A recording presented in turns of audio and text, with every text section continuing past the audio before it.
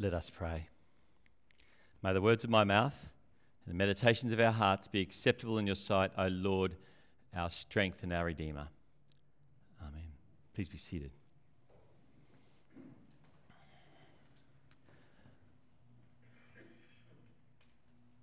I am going to get to Ephesians, um, but I find it very difficult to listen to that gospel reading and just let it go and move on to Ephesians. So I want to give you a moment or two uh, to contemplate uh, the brokenness at the heart of that story, uh, in which violence becomes a tool for a tyrant, uh, and the ways in which one or two people's desires become fear and violence towards others. And you only have to look at the news today to recognize its relevance.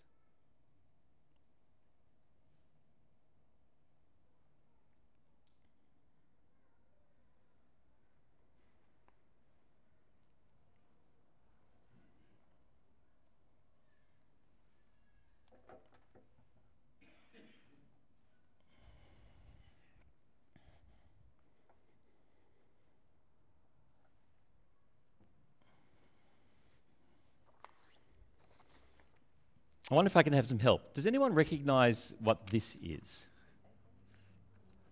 Has it? Oh, in some ways, absolutely correct. A test? Where are the Charles of the 80s here? This has a particular name. Well, they're called the magic eye picture. Um, so, the idea about a magic eye picture is that there is an image there that is kind of hidden. And the way that you see this image is to look differently to how we normally would.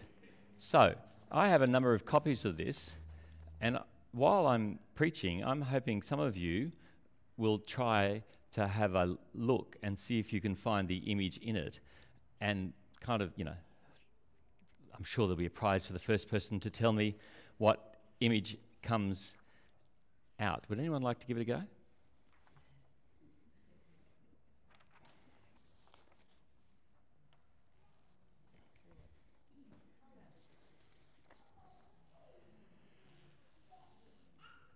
Okay. Paul writes in um, Ephesians these words With all wisdom and insight, he has made known to us the mystery of his will, according to his good pleasure that he set forth in Christ as a plan for the fullness of time. We begin looking into Paul's letter to the Ephesians by wanting to take a look at the idea of mystery. It's partly because sometimes people have referred to this letter to the Ephesians as a little revelation. And we kind of have an idea, you know, revelation, oh, that's a book of scripture, you know. Um, this is a little revelation. And, and I suppose to begin with, I want to ask the question well, what does that mean? Because Paul, again and again in this letter, uses the word mystery, revelation, revealed. It seems to be at the heart of what it will mean to understand what is going on in this letter to the Ephesians. I'm doing this in some ways um, to challenge us to wonder about how we eh, eh, you're doing very well. So you're first. Just hang on for a second, okay? Um, Uh, anyway, no, no, no, that's, that's just fantastic. I, I want to suggest to you that I want us to see this letter with fresh eyes. Uh, I sometimes say it this way we seek 20, 2024 answers.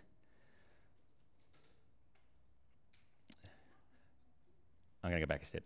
We seem to use 16th century answers for 2024 questions using a first century book.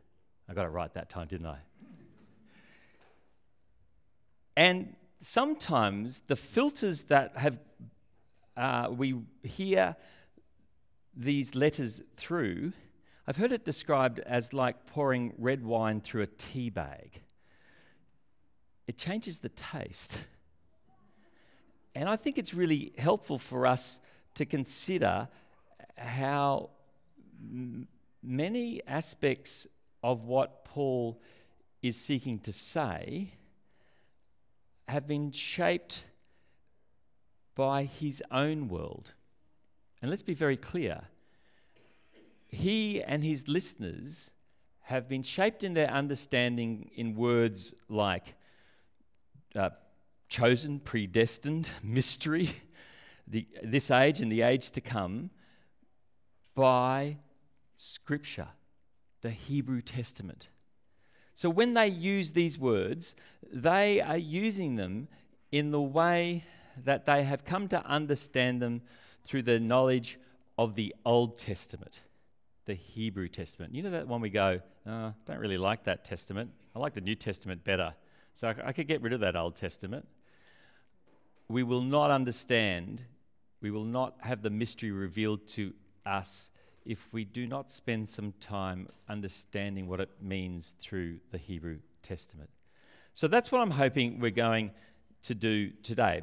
But first, we, we uh, partly today, over the next seven weeks, partly um, we're going to ask the question about mystery, about uh, the idea of revelation being that which is being unveiled. So we did have, did we have an answer? What, what did, it's Saturn, yeah. So the image uh, that you can see there that comes out in 3D is an image of Saturn, the planet Saturn. Now, I want us to quickly think. Here is a, a picture that, if we use with our straightforward eyes, it appears as if there is nothing else there. Uh, but if we follow some instructions, and, and they're kind of like you've got to bring it up to your nose and then you pull it out slowly, and see those two red dots at the top? When it becomes three dots, that's when you hold it still. Now, if you only see two dots, you've got further to go. If you see four dots, then um, you've gone too far. If you see 10 dots, uh, I can't help you. um, so, the thing about that is it talks to us about the idea of mystery unveiled. And perhaps the most significant thing about that, even here, is the thing that is being unveiled was always there. It was always there. It just required the right circumstances for it to be revealed. At the heart of Ephesians is this question of the mystery that is revealed in the life, death, and resurrection of Jesus Christ a mystery that Paul first encounters on the road to Damascus. A mystery that was unveiled not just in a flash of inspiration, but he went away for two or three years to work it out. How might our look at Ephesians help us draw back something more of the mystery of God in Jesus Christ. What will we see? Paul says, with all wisdom and insight, he has made known to us the mystery of his will, according to his good pleasure that he set forth in Christ. He does this as a plan, a plan for the fullness of time. Christ's life is part of a plan that works out for the fullness of time.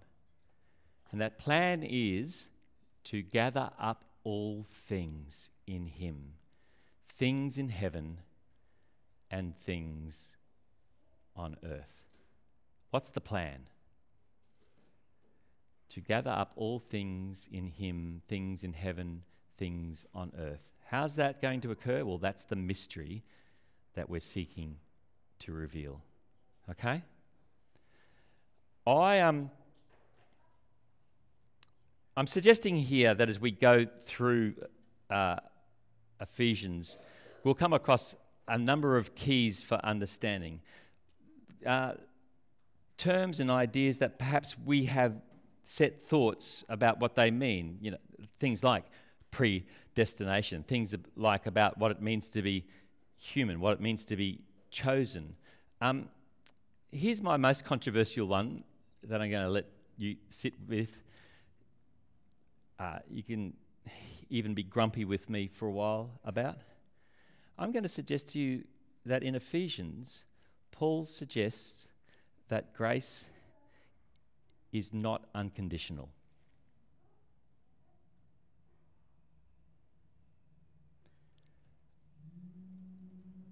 Yeah, I'm going to leave you with that.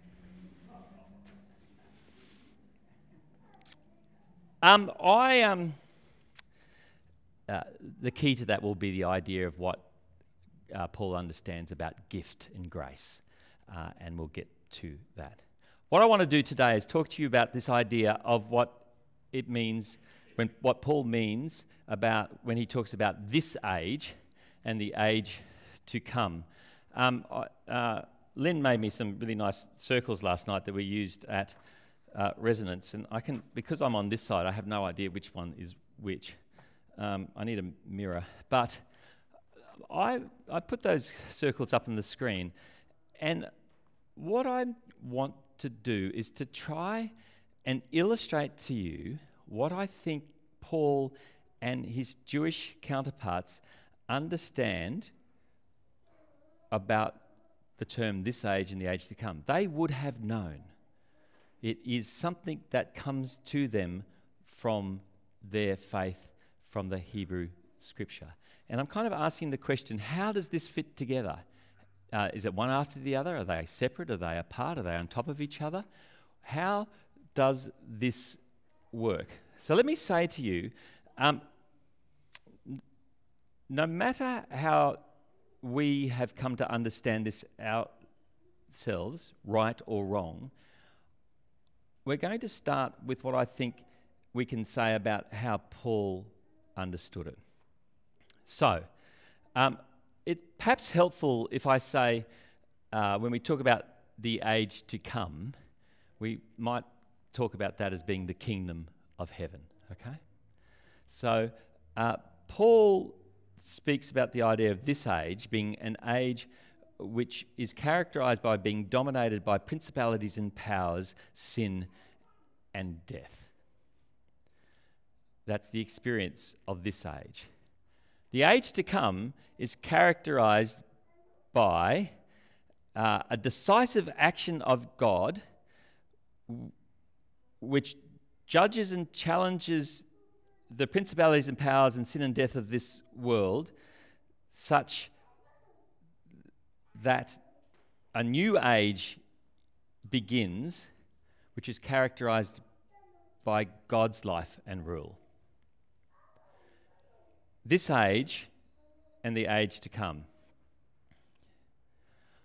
So, I think the first thing we have to understand is that in the first century, Jewish people understood it this way. Uh, you might have heard the phrase, uh, the resurrection at the end of the age. I think it appears in John. It's either Mary or Martha. You know, I know he will be raised at the end of the age. It's a reminder to us that people of the first century understood resurrection as a thing that would happen in the future to everybody. A thing that would happen to, in the future to everybody. It would happen at a time that God would act decisively to challenge the principalities and powers of this world, to challenge sin and death. And in acting decisively, all that belonged to this age would fade away and the new age would be inaugurated. And it's characterized by the resurrection of all. That's how the Jews understood this term. What happens if that's what you believe, and suddenly you're walking down the road and you encounter the resurrected Christ? And he's the only one who's been resurrected. We're just ignoring, is it Matthew, where there's a few hundred more. But anyway, um, in a sense, you your categories for resurrection have just been blown apart because resurrection occurs to all somewhere in the future. And it's just this guy. What do you do with that? Well, he went away for two years to work it out. I think this is part of the heart of the mystery that Paul says is being revealed. I think generally that describes what a whole bunch of us have thought is the case. This age, ruled by principalities and power, characterized by death. Um, the cross, uh, at, at which Christ makes it possible for us, and we often talk about a bridge, uh, that belief takes us from this age at our death or when Christ returns to the age to come but it's hard to know what happens in the middle. uh, so I want to suggest to you that this is what Paul came to understand. Paul came to understand that if Christ has died and been resurrected, he is the first of the resurrection of all. We sometimes talk about the first fruits. And in being resurrected, the new age has been inaugurated. It's begun, even while the old age is still with us. The sense here is that there is a period between Easter and Christ's return where this age, characterized by the principalities and power, sin and death, coexist with the age to come when Christ is on the throne and life is characterized by the kingdom of heaven. So, if that's the case, what do we do with that? How does that change how we might need to think about the life that we have? Well, I think Paul goes on in Ephesians to give us an answer.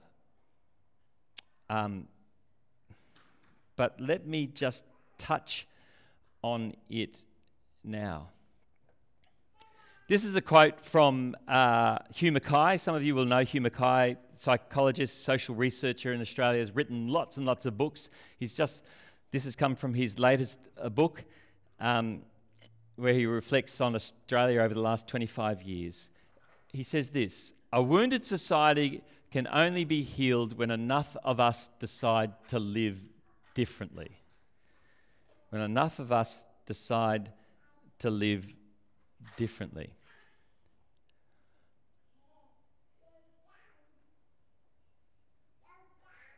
I want to suggest to you that as we go through Ephesians, words like chosen, predestined, this, the idea of mystery being revealed, the idea about grace being unconditioned but not unconditional, all point to the idea that Hugh gets partly right. A wounded society that resorts to violence can only be healed when enough of us decide to live differently. I wonder when Ephesians talks about a plan to draw all things to himself, that a plan means that there might be some of us chosen, predestined, to be those people who need to live, live differently. That in fact, this image that I give you suggests that as these two things overlap, uh, that we are called to live differently, chosen to live differently, to be those people who, by our actions one with another, reveal God's kingdom, the age to come. The emphasis is on us together. I know I wrote a bit about that in the focus. The second song we sang today, a lovely song. I'd like to change one word. So it keeps on saying, it's all been prepared so you would come. For you. Can we change it to we? Because I think Ephesians does. I think Ephesians says this is firstly about God and the praise of God, and we do it together, not individually. Can I suggest to you, sorry, I know I'm getting carried away. Is it all right? That the shooting of the, uh, the attempted shooting of the president, the previous president of the United States of America this morning, yes, someone shot at Trump, and they um, uh, is a sign that we need to live differently. I want to suggest to you that in a world that is seeking individualism, that when democracy finds that on the different sides of an argument, one side of the argument, if they think they are going to lose, do not trust if they lose that they will be looked after. We've lost the sense of the building up of community. And I want to suggest to you that is the heart of the gospel that we find in Ephesians that is relevant for the here and now. And it will start with us individually choosing to live a life for one another, to be some people for all people.